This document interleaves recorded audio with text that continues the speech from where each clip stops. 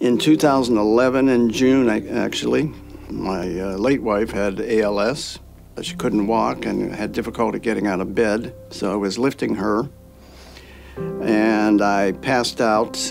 And in the process of the workup in the emergency room, they came back and said, You have a mass on your lung. And indeed, it was melanoma. The tumors were spreading. They went, uh, he told me that they went into my liver, and the one in my lung was growing, and other ones were popping up. I had seen Dr. Toni Ribas at UCLA for a second opinion, but I was going downhill uh, very quickly. I wasn't eating. I had I was on oxygen. I couldn't walk. Actually, when I went in the hospital the end of May, I didn't think I was coming out. But then one night, uh, the end of May, I had a great sleep. I remember this distinctly, and I slept like for 18 hours.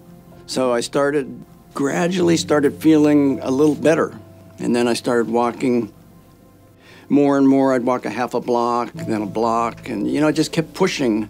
Uh, and I was able to do more and more. Little things just they're very uh, uh, appreciated by me. Getting up in the morning and going in my backyard and seeing my garden, and I'm able to be with my children and my grandchildren and go on vacations with them. And I was close to the end of the road, as far as you could get, I think, to the cliff, and uh, I was pulled back by this treatment.